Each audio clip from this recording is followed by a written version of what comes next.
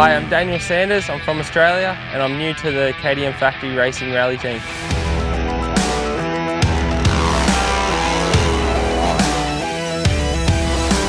My goal was always to do a Dakar rally and it has come a little bit earlier in my career than expected but it's, it's really cool to have this opportunity and to make it happen.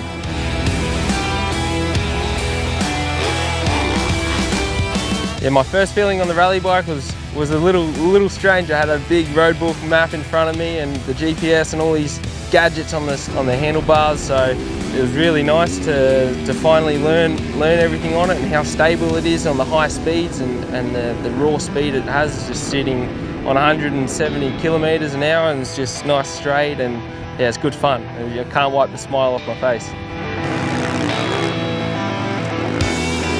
Daniel is part of the KTM Factory Racing Team uh, junior program, so that means that he has uh, less pressure, he has the right tools and everything to develop together with the main team guys.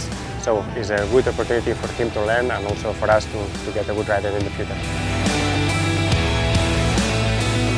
We've been working really close with Daniel the last days and of course we put the focus on the navigation because it's new for him. He already knows how to ride one bike so now we need to put the navigation and, uh, on that and, uh, and I think he's showing really good uh, skills on that also. The mental side is really good and the attitude so I think if we keep going with this attitude it will be a real contender of this race.